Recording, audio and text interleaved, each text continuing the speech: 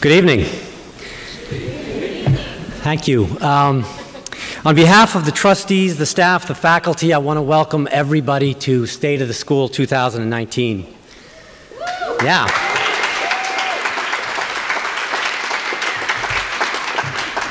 So I'm, I'm super excited to see uh, such a packed room and, and so much energy. I have to say, this is my absolute favorite event of the year. It's nothing but pure energy and optimism. And this is my seventh state of the school, but it's my first as president of the board. And I want to say it's an honor to represent all of you uh, in that capacity. It's an important responsibility and a grave responsibility. Uh, for me, it's also a labor of love. I will certainly uh, do my best. I'll be available if anybody needs to contact me um, in, in, my, in my capacity, and I hope to meet uh, as many of you as possible over the coming years. Though I know many of you, can't see you, but I know many of you out there, uh, I'm told I should do a brief introduction. So, first, for the new parents, my family and I are not descendants of the school's founders. Uh, our name is just a happy coincidence that makes the school store a little more appealing. Uh, but, but my wife Lynn and I, and Lynn's uh, a trustee as well, have three kids at the, at the school. We have two seniors uh, and a freshman. And we were in England for 12 years, and we were at an international school that we absolutely loved, and we thought we could never replicate it. But we were lucky. Like all of you, we found King. And we chose King because we sensed that they were striving to set a better standard for education, and we have not been disappointed. It's been a place that's provided uh, challenges and support for our kids. They've grown as students, athletes, citizens, young adults, as they've learned to be their best selves. That is them, their first day of school seven years ago and just a couple of weeks ago. It's, it's actually been an amazing partnership with the teachers, the staff, the coaches, the other parents, and if you look closely, the orthodontist. Um, we are all in at King, and as are all your trustees, by the way, and we're excited to build on the energy and momentum of last year, Karen's first year. You have 27 strong, committed trustees, a new ambitious, ambitious strategic plan, and incredible momentum, and you're going to hear a lot about that tonight uh, from Karen. But before I turn it over, I want to say uh, a word of thanks for someone who has exemplified what it means to be a part of the King community. And I hope that you are all as inspired by him as I am. And I'm, of course, I'm talking about uh, my predecessor as board president, Tom Conheeney. And given the magnitude of what he's meant to this school, I thought in this moment of transition it made, a, uh, made sense to reflect for just a moment uh, on what he's meant to the school. As a parent, he and Roseanne brought their twin boys here in 2003 as first graders. Kelly came two years later, 2005, as a kindergarten student, and uh, much smaller than they are now. Um, and Tom joined the board in 2005. Uh, he held virtually every position on the board until becoming board president in 2015, which he held for four years. And by the way, Tom is still on the board, and, and during much of his time uh, on the board, he was also a very, very senior guy, one of the most senior guys on Wall Street. And so, and those were tense years, uh, which I can attest to. So he was doing what our kids do every day, which is power multitasking. Um, but uh, he's been, and, and, his family has been uh, some of our most generous donors uh, in the history of the school. They brought to, Tom has brought to King leadership, judgment, commitment, and most importantly, a vision. And throughout its history, King has seized opportunities to invent and reinvent itself as it's tried to ask more of education. And Tom has helped transform the leadership team, the facilities, the programs, almost everything. During Tom's tenure, we built the pack, we renovated the upper school, we put in the turf fields, we created the innovation lab, we hired a new head of the upper school, the lower school, um, an overall new head. We revamped athletics, capital raising. Uh, in truth, there's almost no corner of this school that was not examined and made better. The definition of stewardship is to leave something better than you found it, and Tom has had perhaps one of the most profound impacts on this place as anybody in its long history. And that's, that's a big statement, and that's a legacy. So, of course, uh, we will honor Tom properly at the gala in April, but for now, I would ask you to all join me in thanking Tom Conheeney. Tom, please.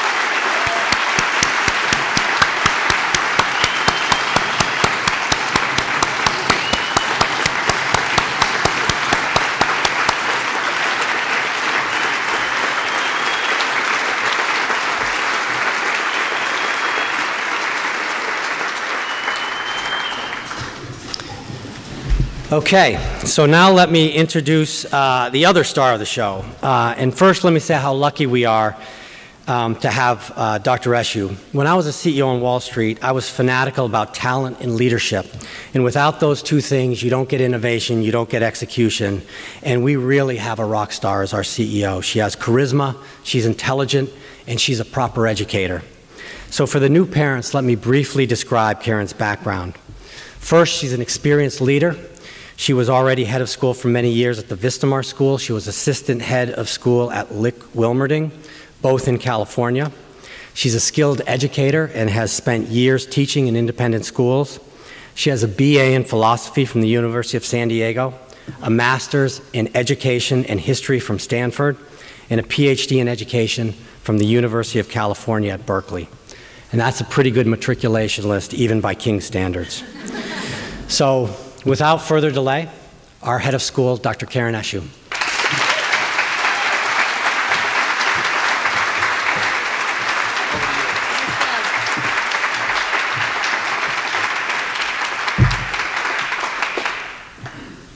Good evening, everybody. Excellent job. You're actually here. I'm glad I see some drinks in hands. That will make this a lot more fun, that's for sure. Um, so, first of all, I just want to echo um, Tom King's uh, comments about Tom Conheeney.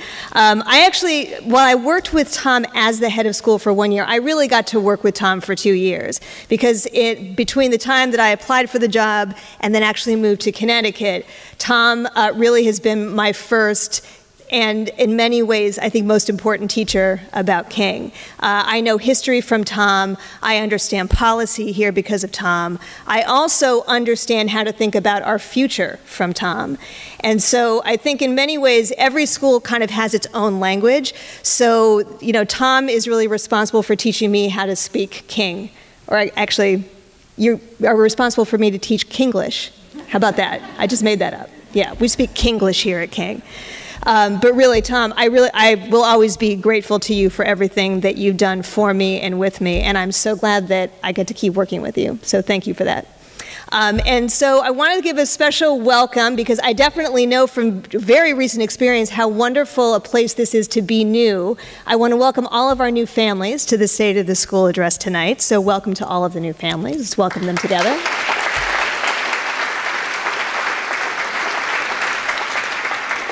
And of course, now that I'm in my second year, I also know this is a great place to not be new. So, welcome back to all of our returning families. Um, special welcome to all my colleagues who are joining us tonight, and then to everybody who is watching this tonight, whether you're on, um, on live stream or later on watching the recorded version of this. Welcome to all of you. Special shout out to all of our alums who might be watching us tonight from wherever. So, tonight, I am really excited to share with you a preview of the King School Strategic Plan. And tonight, I'm going to be talking with you about that strategic plan and lots of different ways in which King is setting the standard. Now, what I would like you to think a little bit about is um, strategic plans are, you know, are, are, pretty common, I think, in schools. And ours will be a five-year plan, um, like many of them are. And yet, as you hear me describe some of the initiatives that we are going to undertake, Really, what we're doing is preparing not just for King 2025, we're really setting the foundation for King 2050 all of the decisions that we make now are going to really be designed to keep us a robust, growing, evolving, and compelling institution 30 years from now, not just five years from now. That's what makes this work so exciting. Now, the strategic plan is really one of the most important ways that the Board of Trustees partners with the head of school and, uh, and also by extension, the head of school's team. And so the work that's been done has actually it really got started last year. So you're looking at months and months of work um, in terms of what I'm going to be showing you.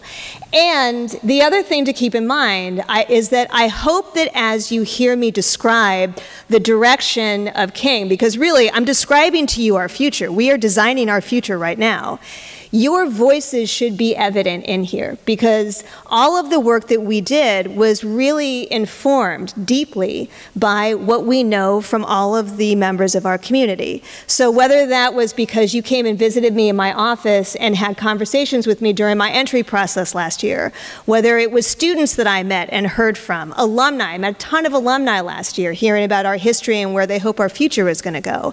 All of that has informed our thinking about who we are today and who we know we want to be and need to be in the future. And that's why I'm so excited about this. This is actually some of the most fun we've gotten to have, um, and I'm so excited to share this with you tonight. So, what you're going to see tonight is three pillars. We're going to talk about how we are setting the standard for education also setting the standard for a sustainable future, and finally, setting the standard for institutional excellence. Now, under these three pillars, I'm going to be sharing with you a total of nine initiatives. And in doing so, uh, we, are, we are really seeking to make our mission come to life day in and day out here at King. The most important line of our mission, I think, is the one that we all probably could rattle off, and that is that King prepares students to thrive in a rapidly changing world. So every time we undertook another initiative, we had to look at it through that lens. Everything that we do is designed to prepare students for the actual world that they are going to enter, not the world that we left behind. And that actually calls us to think somewhat differently about the way that we deliver education. And so, with that, we're going to start, no surprise, with education. And we have five initiatives under this pillar that I'm going to share with you. We're going to start with academic excellence. I'm going to share with you our initiative around athletics specifically, and then more broadly, wellness. From there, we're going to talk about some exciting new uh, directions we have for community partnerships. And then finally, the cornerstone of our fabulous community, inclusion. And so we're going to start here with academic excellence. Now, when I think about academic excellence and I think about the legacies that really help to inform this way of thinking and being, I think of the Low Heywood School. Uh, Louisa Low and Edith Heywood, the two founders of that school, uh, and that was a school for girls, in case you weren't aware of that. Their goal always was to provide the most excellent education possible for those girls. They were committed to challenging them in real ways. They were committed to making them work hard, for sure, and in doing so, prepare them to be purposeful human beings. That was Low Heywood School. And that part of our legacy remains with us today. In fact, the way I just described it, I hope you uh, agree with me, really reflects the school that we're, we're literally sitting in right now. So, as we think about how we take that core of who we are and start to propel forward, we start to think a little bit differently about what kinds of challenges our students need and what authentic challenge really looks like. Because what we know is memorizing a lot of facts is not really going to get them very far anymore. Not in a Googleized world where you can just ask the Google anything you want and get the answer. Instead, and you've heard me talk about these concepts before, what we know our students need is to learn how to research well. That, in, that includes, obviously, looking for information, being able to find the right information, but also telling good information from bad, because as information proliferates, a lot of it is, of, of course, in, incredibly low quality. On top of that, it's not just about finding it. Our students need to learn analysis skills, they need to learn synthesis skills, and they need to be able to connect concepts that seem to be disconnected but they need to do that in order to make something new. Now, in order to do that, our students have to develop ways of thinking and being as students while they're with us that prepare them to be nimble in doing this work. They have to be able to turn on a dime and actually be excellent learners because they're going to need to keep learning different skills throughout the rest of their lives. One, one set of skills is just not going to cut it anymore. On top of that, and this is actually the part that gets us probably most excited at the school. They need to take what they learn in school and be able to apply it outside in the world. Now, I usually hesitate to say out in the, the real world because it feels pretty real in here to us too. But at the same time, the world outside of King is very different than the normal that we create here for our students. But we want the normal here to prepare them really well for whatever they're going to find. So, to that end, we, um, we're looking at programs that will allow students to think more about things like content mastery. Content mastery is different than just content knowledge because you can know something for a little while, but then it can just kind of flit out of your brain. What we wanted to look for are different ways for students to demonstrate deeper understanding, and that is going to require some different ways of teaching and learning. Beyond that, they need to be able to practice those real world scenarios where they're going to have to demonstrate that learning to others, not just their, not just their peers and their teachers, but others from the outside. Now, in this initiative, like all of the initiatives you're going to see, a lot of this is actually already happening here at the school. All of the all of the work that we plan to do in the future is inspired what we're really good at already. So, for example, this summer, we, uh, we have unveiled actually a brand new program in our lower school. Our early childhood program for the pre K and the K is now a Reggio inspired early childhood program. Now, for those of you who are unfamiliar, the short story is that Reggio Emilia, um, which you've probably heard of before, is a region in Italy, but it's a region where the folks there have doubled down on research on early childhood education to find the best ways to bring out the curiosity and cultivate it in the youngest children and actually teach them to be researchers in their own world. So, what our students are doing in those earliest years here at King, learning to ask the right questions. That's always the most important part of a research project. How do you ask the right question? It can take years sometimes to actually hone that down. But teaching students to keep asking questions, then go out and collect some data, and then draw conclusions from that. Now, while we usually associate that with older students, our youngest students are sometimes best at this because they're so curious and there's nothing yet that's getting in their way. They come to it naturally and therefore develop the habits. And so, what we want is that kind of attitude towards learning to continue to spiral through our curriculum in very, very intentional ways. Now, when we think about the middle school and the way that those skills will then manifest in the middle school, um, this is one of the reasons actually why I'm just so thrilled that we have welcomed Dr. Josh Deitch to our middle school as our new head of middle school. Because Josh is somebody who is, first of all, a committed, God bless you, middle school person he is a middle school person. He's not just somebody who teaches and then sometimes like hangs out with middle schoolers. This is the age that he knows best and respects and loves. And that is what compels him to create the best atmosphere possible for middle school students. Because those are the students actually who are oftentimes at the greatest risk of, of kind of losing their curiosity. Because so much is changing in their bodies and in their brains and everything else, they sometimes will kind of pull back into themselves. They won't, they'll stop trying new things, unless, of course, they are surrounded by adults who know them well and who love them well also. Now, we probably all know it can be kind of tough to love a seventh grader sometimes, but our colleagues definitely know how to do that because they know how to meet them where they are, make them feel safe enough to be uncomfortable so that they can continue those skills that I've already described to you. And that's Josh's top priority to foster the conditions where this kind of thinking and learning can take place and not take a dip. Um, and so, uh, unfortunately, for so many students, that's exactly when that happens. Not at King. Definitely not at King. And uh, and then in the upper school, we've been inspired by some pretty amazing research programs that I've actually, I've actually described to you a little bit before. I'm going to, I'm going to come back to you right now. Um, we, we have always believed very much, because uh, we consider ourselves like to be a liberal arts educa- um, education institution, We believe very much in research, of course, in math and science, and we also believe very strongly in research in the humanities. Frankly, research really should go across the board for all disciplines. And we've had a couple of families who have stepped forward to actually support some programs in research that are turning out to be really quite impressive and also very distinctive. This is not what you see at other schools.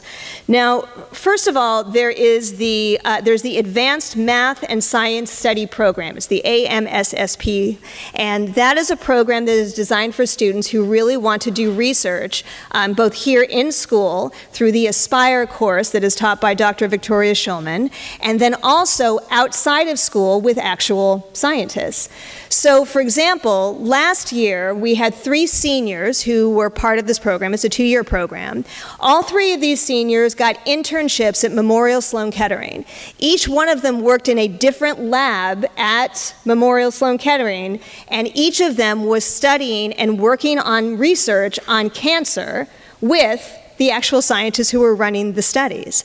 Now, these girls worked incredibly hard, as you could imagine. I mean, they were traveling, you know, up to, you know, down to New York and, and doing this work while still carrying a full load here. And they just did phenomenal work. Now, not only was that um, um, an unbelievable experience for them, and again, somewhat unusual, this is something that also made them extremely attractive to colleges because they didn't just have excellent grades to show these, these colleges, they were able to demonstrate mastery that's what we're talking about with mastery.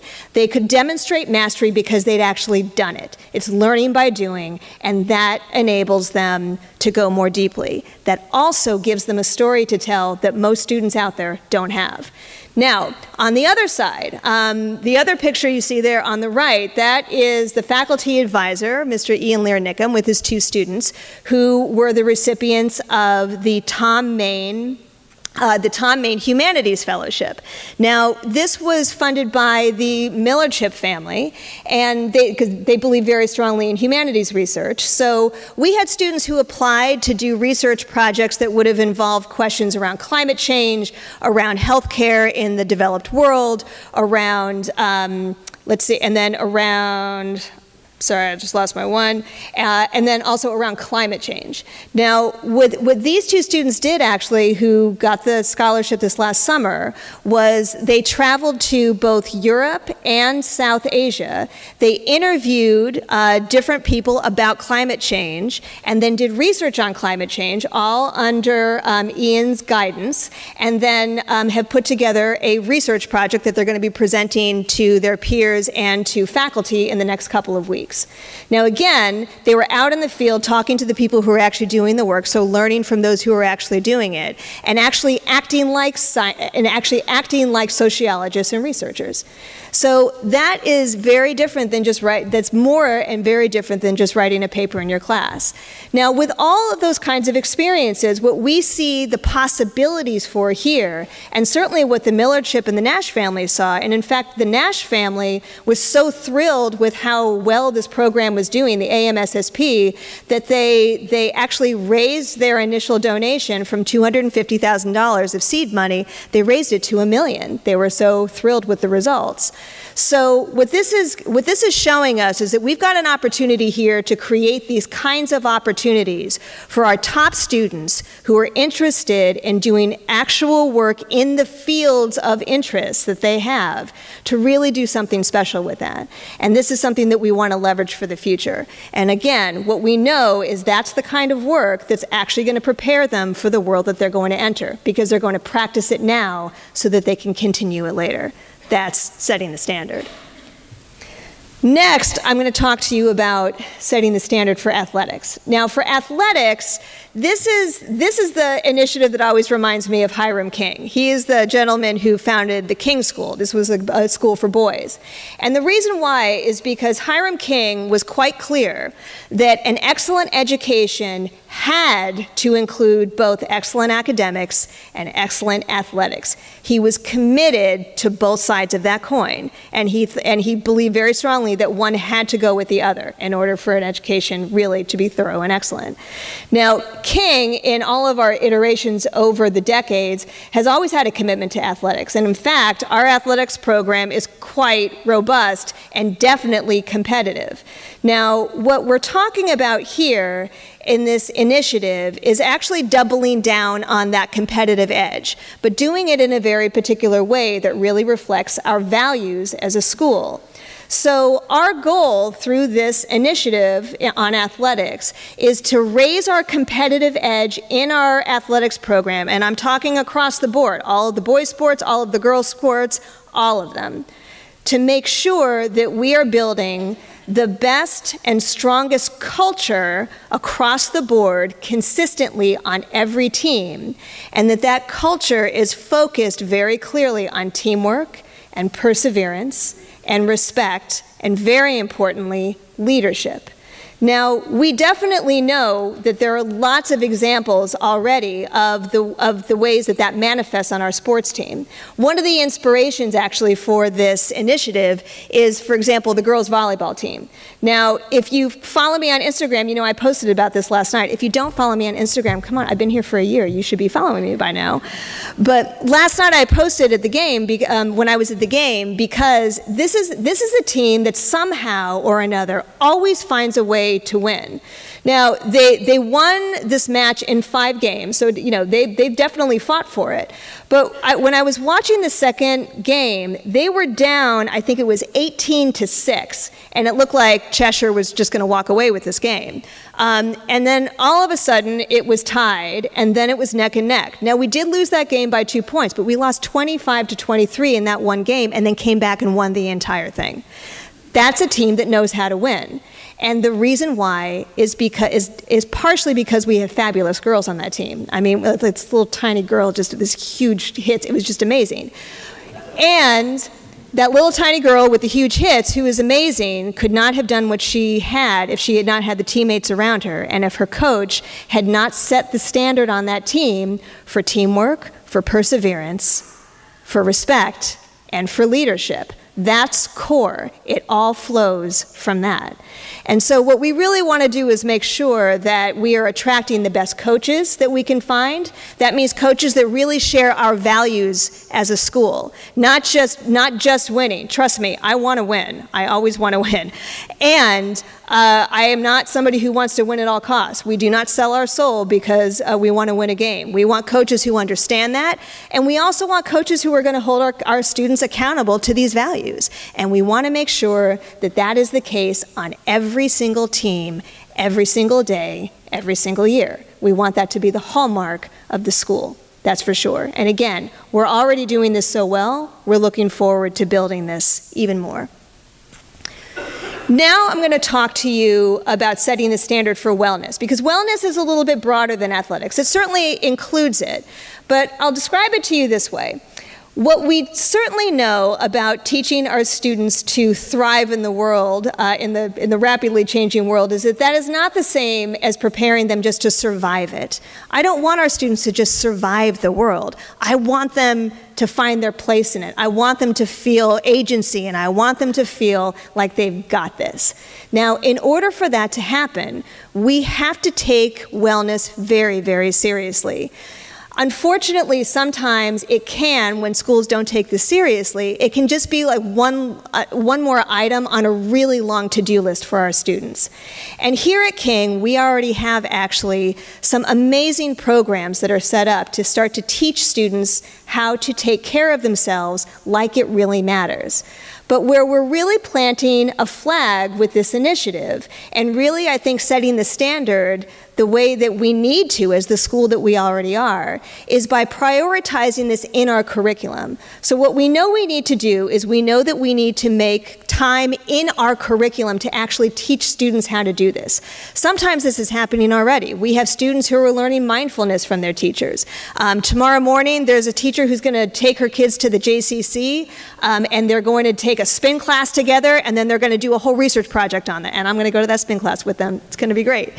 And but the thing is, is that that's part of their academic curriculum. On top of that, what we know we want to do more of is we want to put ourselves as the adult community in the position to actually learn right alongside with them. We as adults oftentimes give ourselves a lot of passes for this, right? We'll like we'll give ourselves a pass and actually check our cell phones while we're in the car with the kids, um, or talk on the phone when we're picking them up in line, or you know, or or not actually take time to sit down for a really good dinner together and actually make human connections. And the thing thing is, is that, I mean, I give myself passes too. I think we all do. So as a school community, really what we're going to be working on is teaching each other as adults so that we can be the best models possible for our children. They need to see us taking this seriously if they're really going to be the kind of happy and healthy and purposeful adults that I know we all want them to be. And so that means programming, that means consistency, and that means prioritizing it, taking care of yourself like it really matters. That's what it means to set the standard for this. Now, next, I'm going to talk to you about our initiative around community partnerships. And for community partnerships, when I think about legacies, I think about the legacy of Mabel Thomas. Now, Mabel Thomas uh, was the founder of the Thomas School. It was over in Rowayton. Um, the other two founding schools were here in Stamford. And Mabel Thomas was, uh, was a fan of John Dewey. She was a fan of the progressives, and she really believed in learning by doing. She didn't want an education to only happen on a school campus. She believed believed really strongly that if you were going to understand what culture is, you have to get out there and be in it. You've got to go see plays, you've got to go see uh, your city government, you've got to get out there and meet people and apply your learning all the time. So, in, and when I think about the way that I, we want to see that manifest here at King, we're already inspired by programs that we have here. Things like King Cares, for example, where we do wonderful service work with some pretty amazing nonprofits in this area. And that has to continue. And there's more to community partnerships that actually will allow our students to start to apply the understanding that they have here, and most importantly, practice problem solving skills out in the outside world. And again, work alongside others who are already doing that in order to make the world a better place.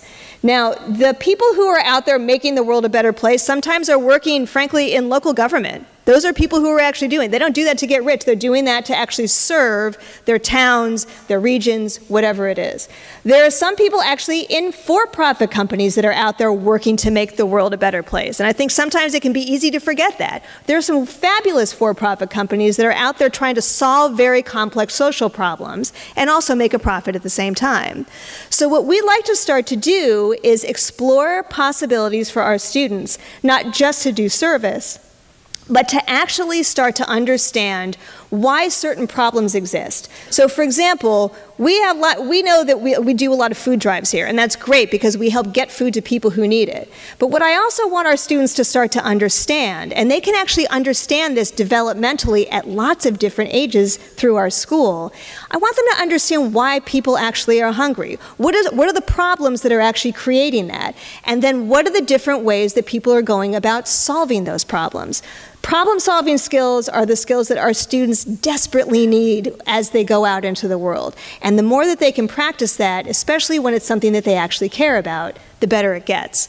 Now, one of the examples that I think is a really wonderful one of something becoming more personal for students and causing them to learn more deeply as a result is our partnership with uh, a group called the Orphan Starfish Foundation. Now, this is a group that is a non, this is a nonprofit group. They actually support orphanages in many different places. The one that we have the relationship is an orphanage that happens to be in the country of Colombia. Now, our soccer team, and that's actually uh, that's actually in Zenio Our soccer coach, he actually has gotten his boys on the soccer team connected with this organization.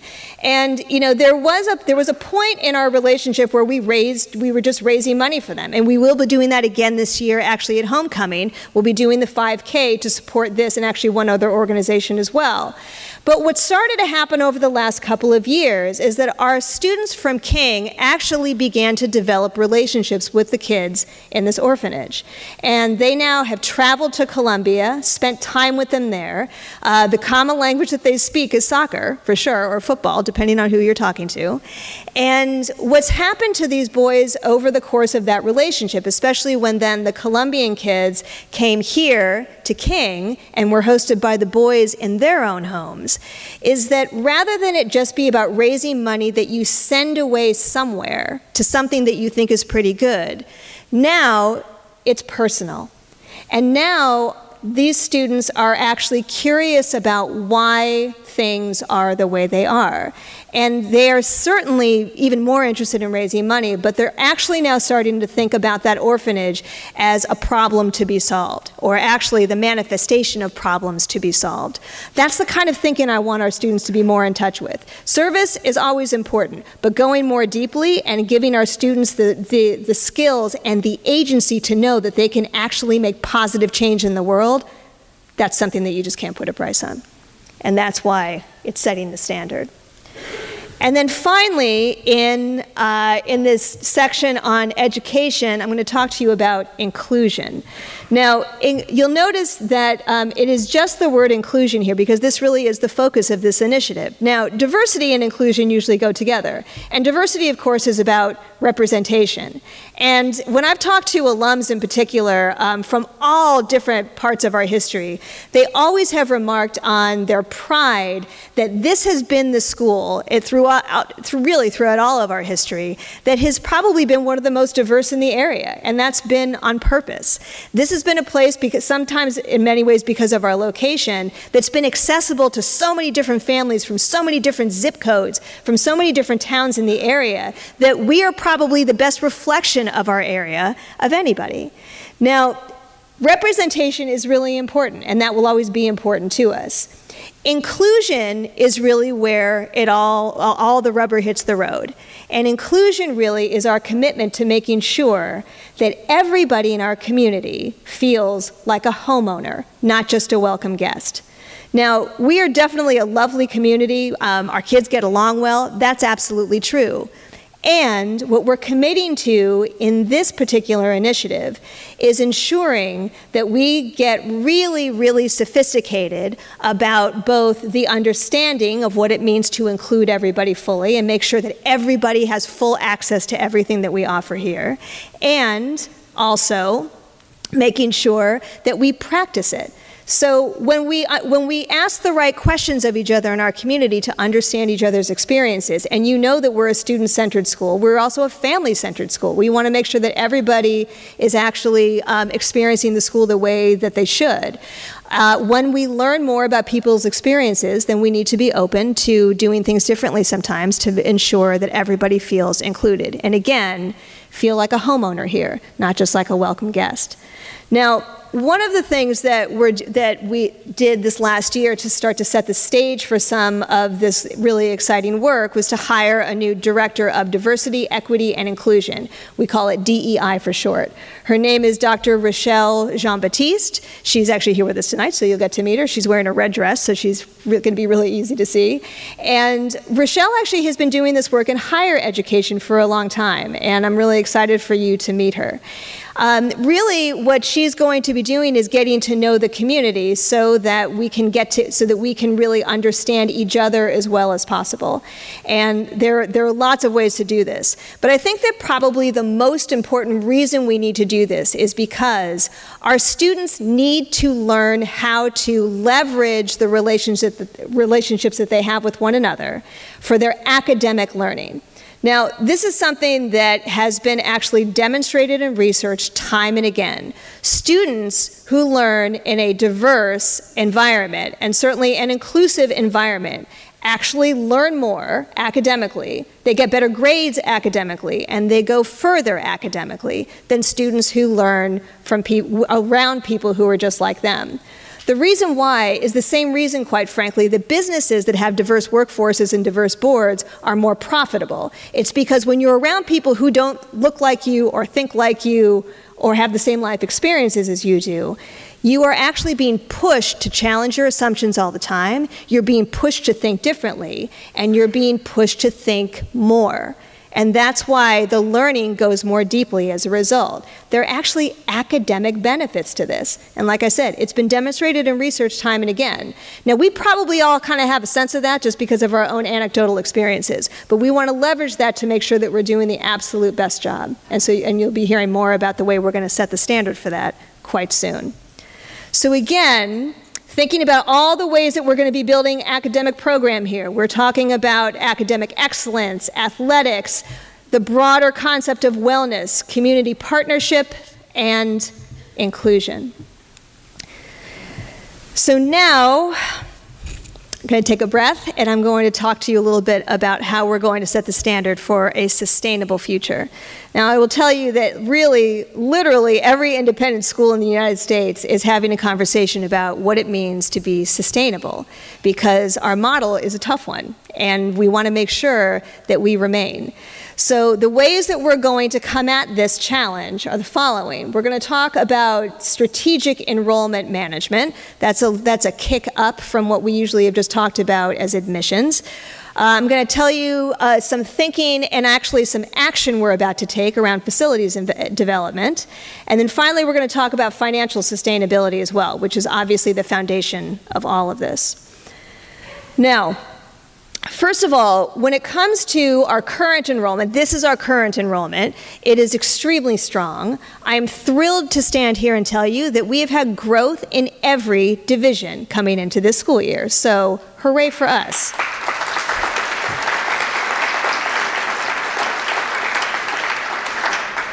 Now, one of the other things that I think is important about this is to understand that I'm, I'm looking around the room. I mean, first of all, I, I know Nina Newman is right there, so Nina Newman and her team certainly deserve a lot of credit for this.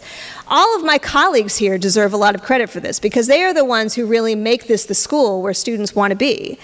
And as I look around the room, I know that all of you get credit for this too, because I know that you're out there spreading the good word about King School. That's how it works. And we're really grateful for that. So keep doing that. Definitely keep doing that. It's obviously working. Now, one of the things that we know, though, about enrollment is that it, it's never a given. We can never, ever take our strong enrollment for granted.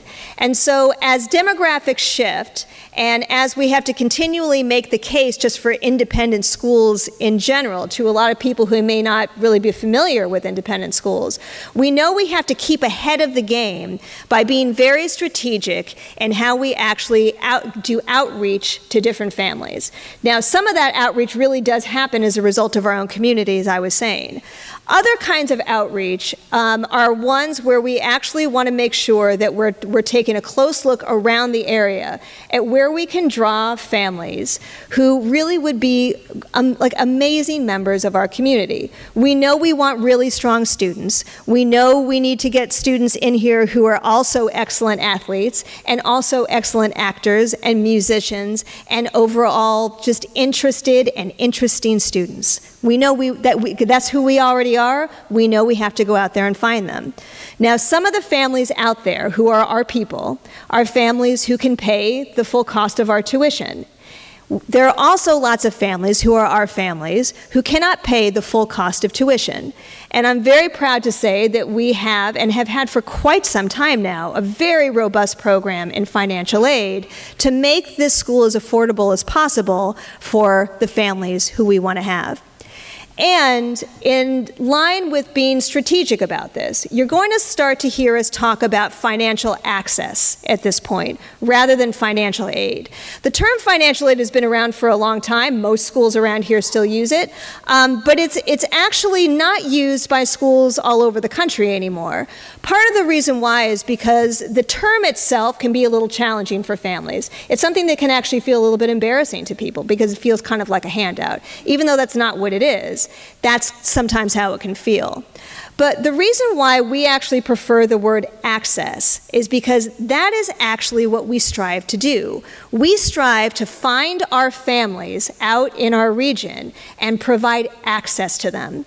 The indication there is that in doing so, we are establishing a relationship with families. And again, going back to my earlier comments about making sure that everybody feels like a homeowner and not just a welcome guest, when we talk about financial access, it's a signal to those outside of our community that we're serious about partnership with them. It's really about affordability, and it makes the conversation easier with the family who we really, really want to attract and actually get to come here at King and yield. And so that's one of the things that's going to be changing. It's just in terms of the language. Now, the way that the program works really will not be different. It really is about ability to pay. And at the same time, it's one of the ways that we are thinking about how to make sure that we maintain our diversity here at King. Because, like I said, every student in this school benefits from the diversity in this school, academically, socially, and emotionally. And we want to make sure that we're doing this in the way that shows us quite clearly as the most respectful school when it comes to bringing in families through a program like that. That's who we are, and we want to make sure that everything we do actually manifests that commitment. So that's what we mean by strategic enrollment and management. Okay, now it's facilities time, and this is actually going to be a really fun part of this presentation. So hold on to your seats. Here we go. Now, one of the things that I'm really excited about, because when you have a strategic plan, you, know, you really start to think about your future and about what the future of the campus is going to be. And so one, as we've been talking about what our, our guideposts are going to be as we make decisions about what to do with our school, there are a few things that we are committed to, definitely. The board is, I certainly am, and my team is too. What we want to make sure of is that as we think about evolving our campus, we obviously want to make sure that we are being as responsible as possible with the resources that we will have. Now, what that means is that we want to make sure that we are spending our money wisely so that it serves us not just for the next five years, but for the next 30 or 60. The other thing that we want to really keep in mind, and this is something that is extremely important to me in particular, is that we want to make sure that as we're either enhancing our current campus or building anything that's new, that we're building it to be as flexible as possible. Now, the reason why I say that is because I've been saying tonight, education has to change in order to prepare students for the real world. Now, what that means is that we have to be able to flex and bend in our facilities and use them for different things um, rather than just having kind of unitaskers, right? Um, the, the days are gone when you just build a building to just do one thing. There needs to be flexible space so that teachers can use it flexibly to teach the students in the way that they need to be taught, and so that students can learn the way that they need to learn. Now, all of that, of course, is, is about you know, good stewardship of our resources. Now, a great example of how this has already happened um, actually took place in the upper school building, which is where we're going to be very soon. And it was when the Innovation Lab actually came to be. Now, interestingly, the plan for that space was, uh, was going to be a lecture hall. Okay, so the plans were going, and every, we're going to build a lecture hall in this space. There's going to be this great big lecture hall. And then at some point, everybody involved took a step back and thought, wait a second.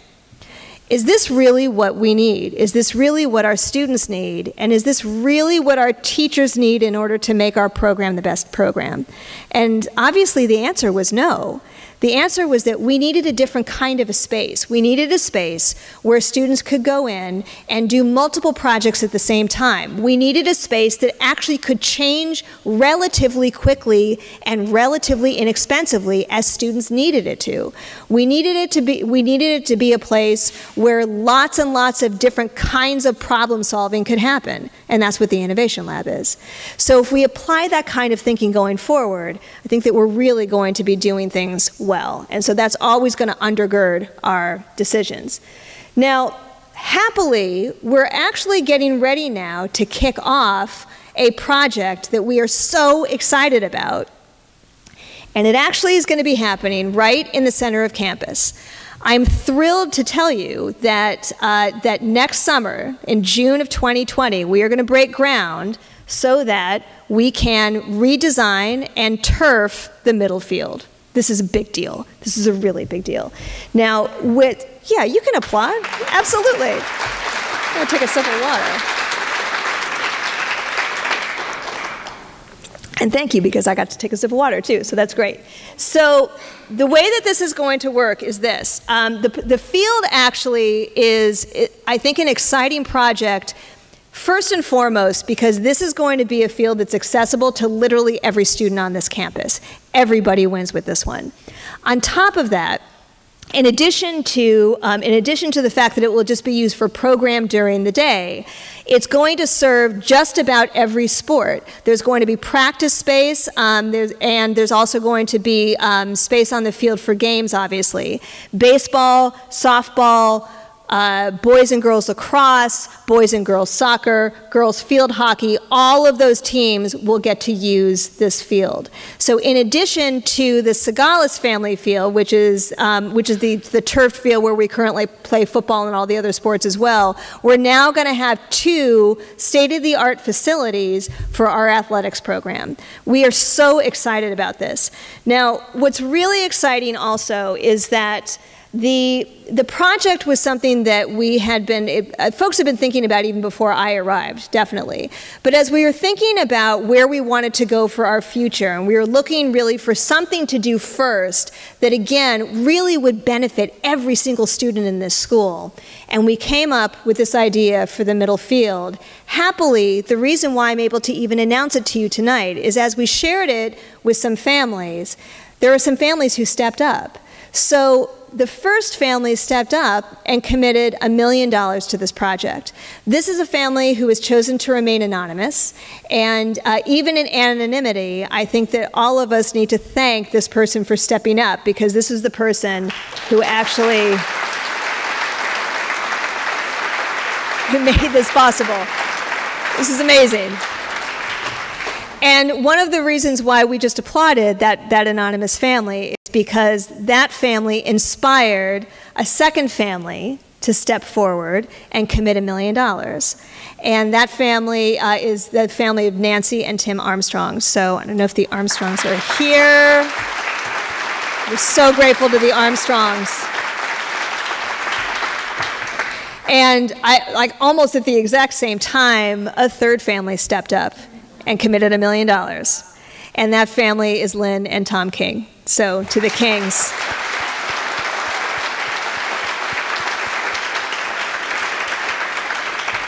Now we, have actually raised a, a, little bit over um, three million. We're at three million one hundred and fifty thousand dollars raised for this field project. This is incredible. The generosity of this community is um, well, it's pretty humbling to stand up here and, and say this to all of you. So, uh, from all of us to all of the donors, our gratitude um, will be flowing for quite some time. Thank you so much. Now, with all of this amazing fundraising, um, we do have a little bit, we do still have a little ways to go. Um, we need to get to about four and a half million to get everything done that we'd like to get done. And so, what I know is that we're going to be hoping, at least, that some of you are going to be just as excited as we are and just as excited as our lead donors have been in kicking this off so that we can get this field completed by, the, by next fall. Now, this is actually part of this task of setting the standard for the sustainable future. This really leads us into thinking about what financial sustainability really means. So part of part of our sustainability, the things that are really going to take us into the year 2050 include major gifts. And you've already heard tonight about, again, the Millerchip family um, supporting the Tom Mayne Fellowship. You heard about the Nash family who, who increased their gift incredibly to a million dollars. This year, we're looking to raise about $2.5 million in, um, in major gifts again. Some of this, again, is really going to be for the field. We want to make sure that we close out the fundraising on that hopefully sooner rather than later. And I know that the senior parents have gotten together and are committing to helping to support at least a portion of that. So I'm really grateful to the senior parents for already committing. Now, beyond that, the same way that the, the Millerchip family and the Nash family have supported programs here, what I would hope is that as you're thinking about the strategic plan and also all these great programs that are already happening here, that you'll be inspired to support some of those as well. These could be programs that you already know about that you would like to support and see go further. You might even have ideas for things that we could be doing that we haven't even thought of yet. Maybe something in community partnerships. Whatever it is, we would love to hear from you about that because we do all of this together. It's all about partnership. And then the other is obviously, you heard me talk about financial access. Uh, for a lot of families, what matters most to them is who their kids are sitting next to every day and learning from and with every day. And so, to that end, supporting financial access, um, whether it's supporting just generally financial access or thinking about a scholarship, those are great ways to help us become sustainable. Because, of course, we are quite reliant on tuition for our budget, which I'm going to describe to you in just a moment. When we get these gifts in, it actually allows us to become even more robust in terms of our sustainability. Um, and that includes the endowment.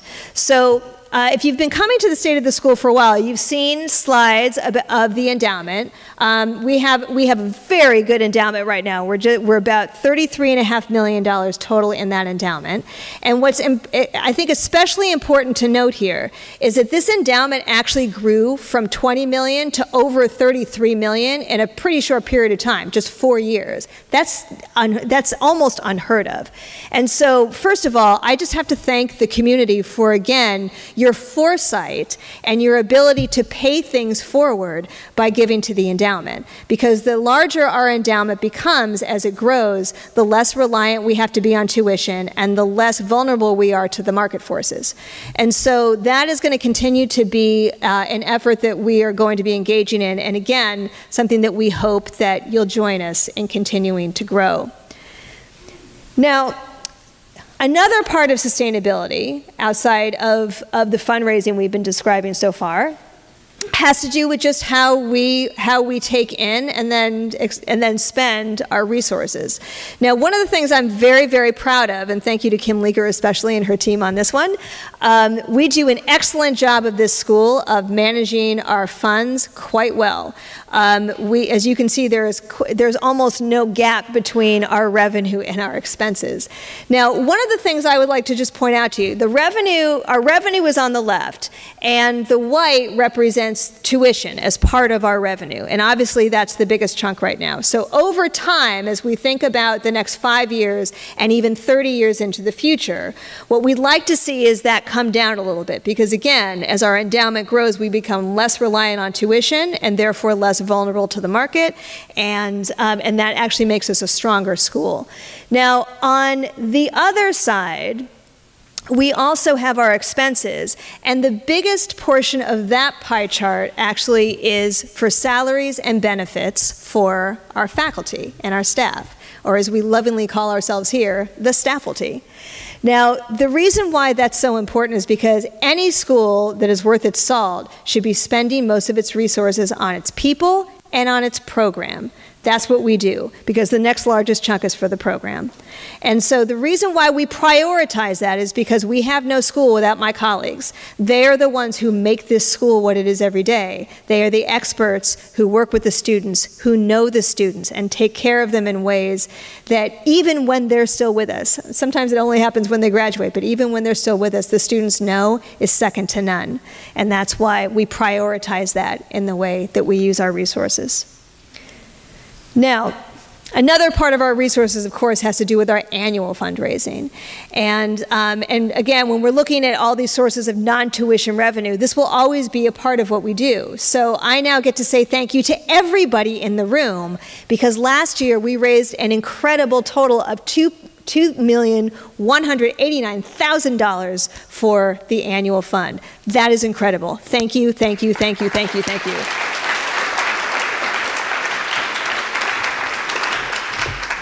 Now, one of the things that we are thinking about as we think about annual fundraising going forward, uh, and you keep hearing me talking about setting the standard, we have decided that we are going to start using a different name for our annual fundraising. Because let's face it, like anybody can have an annual fund, but only we can have the King Fund. Now, the reason why we, we've decided to do this, actually, a lot of colleges and universities started going this way um, a number of years ago, and actually some independent schools are starting to follow. The reason why is because we, we the reason why we prefer the King Fund is because really when you think about any kind of giving here at the school, your giving is very personal. I, I, mean, I give to the school every year, and, and I give as generously as I can because while this is my job, this is also personal for me. I care about this school and the people in it in ways that compel me to do more than I might for just any other job. Because, especially as a head of school, I love my school more than I love my job, actually. I want to do whatever I can for the school. And so it's personal. And so, because we are a school that really is all about relationship, we, we are referring to this now as the King Fund, because this is about us. This is about our family, whether we're current parents, whether we're alumni, even students who are getting ready to graduate, thinking about what it means to be a philanthropist.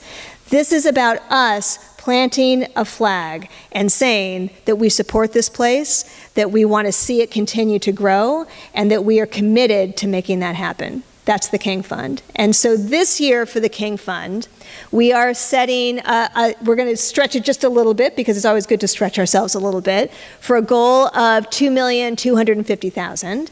And this is going to, as we always do, this is all going to go towards people and program. That's what the King Fund supports people and program. And you know why that's the most important thing to support. So we hope that you will give early and then give again. And um, we know that some of, you know, some of the work that we're going to be doing towards the King Fund, you'll also hear about when we start to talk about the gala that's going to happen in the spring. But as I encourage you, definitely, I, I you know, I certainly hope that we get 100% participation from our parent body. That, that's for sure. Um, I'm actually really proud of our alumni. We actually had more participation from our alumni last year in giving than we've ever had in the school's history. And for that, we, I'm just eternally grateful. It's a great signal.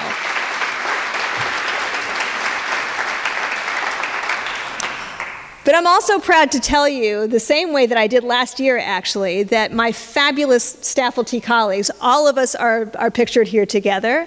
Um, literally, as of, I think I was with Kim and Lauren this afternoon when the email came in, as of I think about 3.57 p.m., 100% of us have, have committed to supporting the King Fund. So there you go.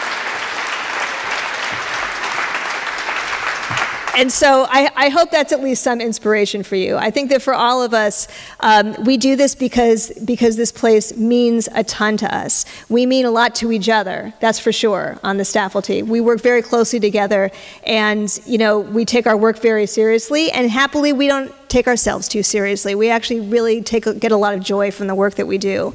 Um, now, I think that it is, um, it is absolute, I, am not even sure what words can really describe the depth of the leadership that the Board of Trustees provides for us every year as well.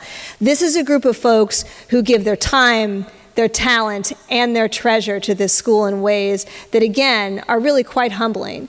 This is a group that has always taken the lead. They've always, uh, they've always been the group that comes out uh, usually at about, I mean, at I believe about 25% of the total of our fundraising for the for the King Fund every year.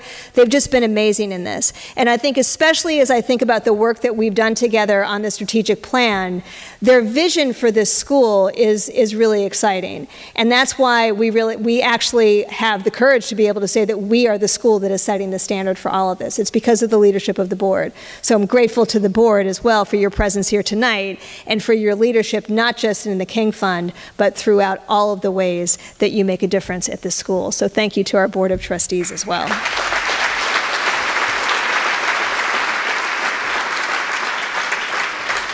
Okay, so this is how we're going to create a sustainable future. Ultimately, we're going to do this together because that's how we do it here at King. We lock arms and we do this together because this place is worth it and because our children are worth it. Now, finally, I'm going to talk to you a little bit about what we mean when we say that this is the school that is setting the standard for institutional excellence. Now, one of the things that I've talked about, uh, I think, a lot tonight is the legacies that really inform us today as a school. The legacy of the Low Heywood School, of the Thomas School, of the King School, and all of those iterations in, uh, that have come before us. And when I think about the ways in which their core values still show here today, it's, it's really inspiring to me because I'll tell you, it didn't have to be that way. And yet, I also know that the version of the school that we are today certainly is different. And you know what? It should be different. We do not live in the past here. We are informed by the past, but we are now building our own future. So, when we think about all that we have discussed together and how much I really have learned about this place, again, in all of its iterations, as I've spent my first year really kind of getting schooled about the school, I am I'm grateful really to the trustees, to my colleagues, to all of the parents, to students, to alums for explaining the soul of the school to me because I get it now. I get who we are. So the goal that we have here for this initiative is for all of us to find the language to express and articulate the incredible pride and confidence that I know that we all have in this place because I've heard everybody say it over and over and over again. Because this is not just a school, this is our beloved school. This is King School.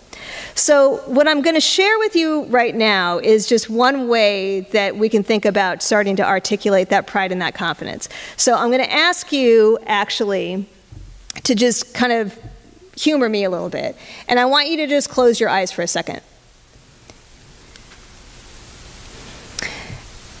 And I'm going to describe this to you this way. At King School, we seek more than achievement for our students. We open minds and spark courageous thinking. Every day, our students discover and forge their unique paths to excellence as we teach, guide, and cheer them on. Because when we set better standards for both the experience and outcomes of education, students cultivate the insights and the heart to own their future. Okay, you can open your eyes now. So, what I want you to just think about for a moment is how it felt to hear our school described that way. That's just one way that we can describe our school, and you're going to hear lots of others in the coming weeks as well. But that's, I think, the encapsulation of the soul of this place. That is both the soul that we need to preserve and cultivate, as well as evolve and grow. And so tonight, as we think about the strategic plan and what this means for how we set the standard for education and how we set the standard for a sustainable future and how we really look to celebrate our institutional, whoops, and also we're going to celebrate Jake in a second too. And also, sorry, sometimes this thing jumps. Um, and then also how we are going to really shout from the rooftops everything that we do and everyone that we are here at King I'm so excited to go on this journey with everybody here tonight. I'm excited about what lays ahead. I'm excited about the challenges that we're taking on. Um, we are going to choose to do this in the best way for students, which is not always the easiest way, but we know it's going to be the best way for students. And I'm thrilled that everybody sitting in this room, everybody who's watching, and those who just can't be with us tonight are all our partners in this. We're going to do this one together, and it's going to be it's going to be incredibly gratifying and a lot of fun. So I'm looking forward to talking with you more about all of this um, when we get down to the Murray Center. There will be drawings of the field, and you'll be able to ask some questions down there. Um, the next place where I'll probably see you is at Homecoming, which is coming up next month. That's always great. If you're a new family, don't miss Homecoming. It's just a fantastic day. And then I'll be sharing more details with you about some of the specifics of the strategic plan when we get back for the State of the School Part 2 in February. So, with that, I thank you so much um, for listening tonight. I really appreciate it. And I'm now happy to introduce our president of the upper school student body, Mr. Jake Cohen, who is going to ring us into the exciting.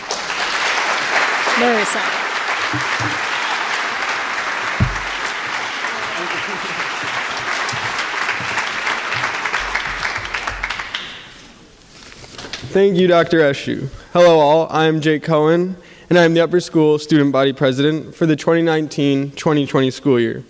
I represent all four grades of the upper school and act as the lead liaison between the students and the teachers. I've been at King since sixth grade, and every day I grow more and more grateful to come to this school. At King, there's a special passion in the teachers, students, and administration to learn, and the result is an energy that breeds growth, positivity, and motivation. So many of my teachers are dedicated to continuing their own professional training and gaining new knowledge, which enables us as students to gain a deeper, well rounded understanding of the concepts they teach. For example, my biology teacher, Mr. Dave Felice, is currently building a six foot, 240 gallon vivarium, which is a living rainforest ecosystem in his classroom. He hopes this will contribute to a conservation effort for Central and South American frogs. My classmates and I are working with Mr. Dave Felice to think through the complex decisions of how to best construct the vivarium. This unique experience is all possible because Mr. Dave Felice is sharing his passion with us to learn and to protect the environment.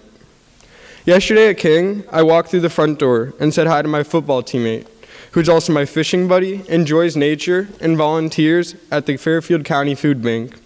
I then walked down the stairs and on the way to lunch, past a Little League World Series ESPN youth reporter, then an English and poetry teacher who coaches JV soccer and basketball and performed in Shakespeare's Much Ado About Nothing this summer. I then ate lunch with a friend who performed in the King's School musical in Edinburgh over the summer and who also leads a first grade book club, is on the peer review board, and loves to draw. Clearly, the community at King is deeply involved in thought and activity, so I'm constantly growing and learning from my peers. Plus, what I love most about King is that apart from being multifaceted, the common denominator among all people is that they are kind, curious, and enthusiastic. In closing, I wanted to talk about the bell ringing tradition at King. Each year, as a community, the students and teachers ring in the new school year together. This year, as a graduating senior, I'll join my classmates in ringing the bells again at commencement. Now, I want to invite the whole community here tonight to ring in another year of learning and growth with the bells that are being distributed. After the ringing of the bells, please join together in celebrating in the Murray Family Academic Center. Thank you. That was awesome. Thank you. I didn't know he was doing that. Mr. Baker, it's awesome, yeah. That's super cool. All right, should I start it? All right, ready? Yes.